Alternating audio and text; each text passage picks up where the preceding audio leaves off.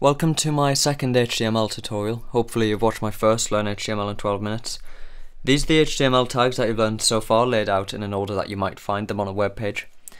In this video I want to spend a few minutes making sure you understand what HTML is and how it differs from other languages that you may have heard of and will be learning if you're trying to make a website.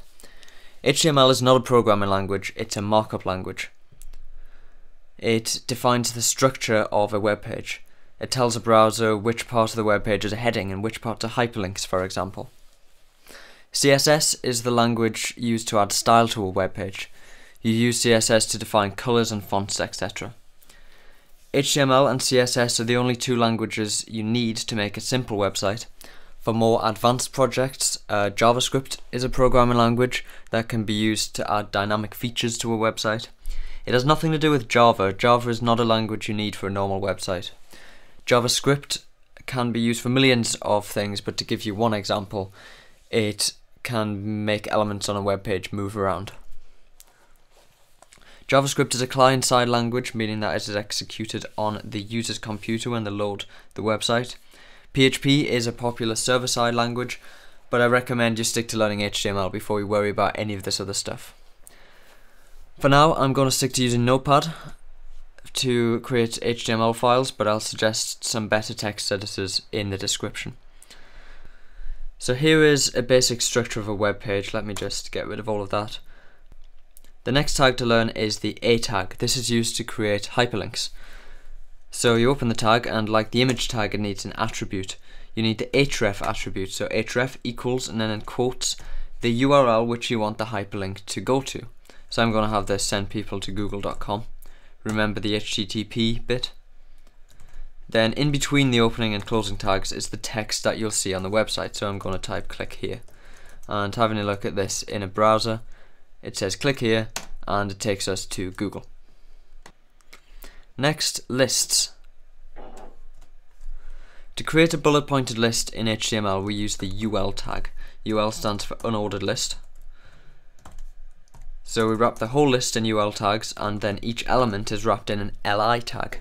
So we can very simply add as many as we want, all wrapped in LI tags. I'll just do two and you'll see we get a nice bullet pointed list. You may be wondering what an ordered list is if this is an unordered one.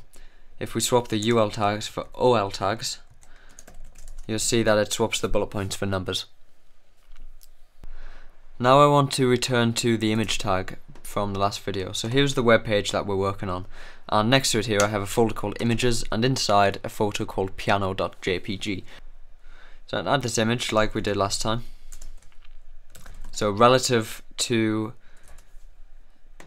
this web page, the path of the photo is images slash piano.jpg.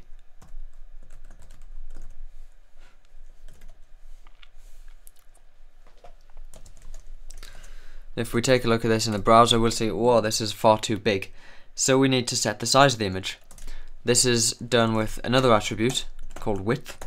Nice and simple. Width equals, and then in quotes, a number which is interpreted as the number of pixels. So I'm going to say I want this image 200 pixels wide. You'll eventually get the hang of roughly how big things are in pixels. For now, just guess and use trial and error. So you see we now have a small image, uh, the height has been adjusted appropriately. We could of course set the height ourselves, height equals and then in quotes say 500 and stretch the image however we want. A final attribute for the image tag is the alt tag. This is actually a required attribute and specifies the alternate text for the image. So let me just give myself some more space at the end. So we write alt and then equals and in quotes a short description of the photo. Now you won't see this on the web page. This is what people with text only browsers or screen readers would see instead of the image. So the alt attribute for images is a required attribute. That means that if you don't include it, you, you technically have invalid HTML. Although it will look just fine in a web browser, you wouldn't be following standards. I'm afraid there's one more thing that is required that I haven't told you yet, and that's the doc type. There are many versions of HTML, the latest being HTML5. They all have subtle differences. Usually, a new version of HTML comes with a bunch of new tags and a bunch of old tags removed from the specification. The doc type tells the browser which version of HTML to expect. The doc type must be the very first thing on any web page. Luckily, the doc type for HTML5 is very simple. We started like any other tag, but then we had an exclamation mark to tell the browser that this is not actually an HTML tag. Then we write the word doc type, D-O-C-T-Y-P-E in capital letters, followed by a space, and then in lowercase letters, HTML. Then the closing tag symbol. This must be the first thing on every web page. Next, div tags, div. These are used to group elements on a page into sections. Think of them as invisible boxes that other things can go inside. By default you'll not see them, but a div tag will always cause a line break before and after itself, so nothing can appear next to a div tag, only above and below. This can be changed using CSS, but we're not at that point yet. We can use a div tag to define the header section of our page, for example. So in our header we could have uh, the biggest heading, uh, welcome to my website. Close that div tag. Then we can have one for the main content section. Here we can have a smaller heading.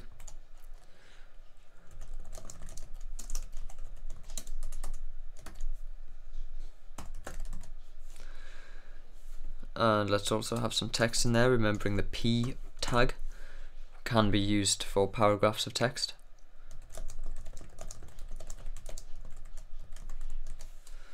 And finally, for example, we could have a footer section. Obviously, it's up to you which sections you define and how you use div tags. And you can have div tags in div tags. You can nest that as much as you want.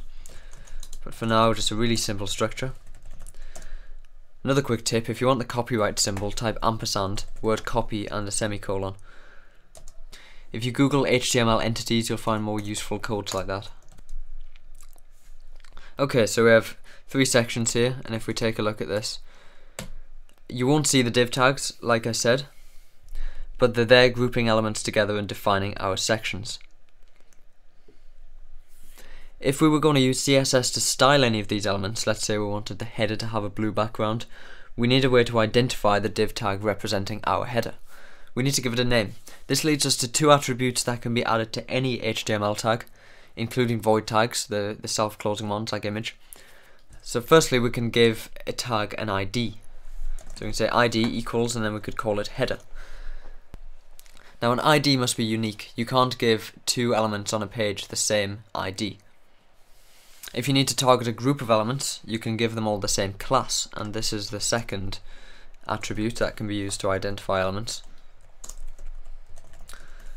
So we can say class equals and then a quote to the name of a class.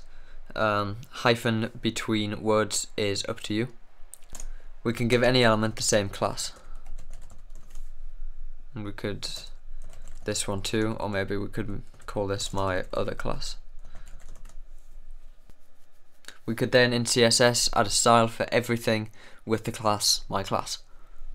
One last tag for this video is the span tag. This is similar to the div tag. It's used to create logical groupings on a page, but a span tag won't cause a line break before or after itself like a div tag does. So let's say we had a, a sentence, welcome to my cool website, and we wanted the word cool, let's say, to be, I don't know, red. We could wrap this in a span tag and maybe give it class red.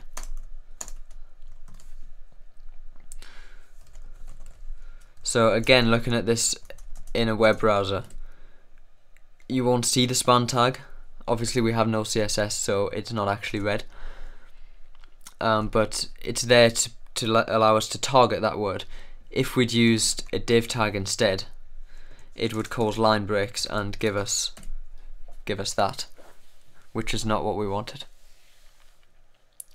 So you now know plenty of HTML tags to start creating your website. You've got the H1 to H6 tag for headings, P tag for paragraphs, IMG tag for images, remembering the SRC attribute, um, along with width attribute and height attribute, and the alt attribute, which you need as well. It's worth men mentioning that you can put these attributes in any order you want inside of the opening, inside of the image tag, and this applies to attributes of any element. BR tag to um, include a line break and go down to the next line.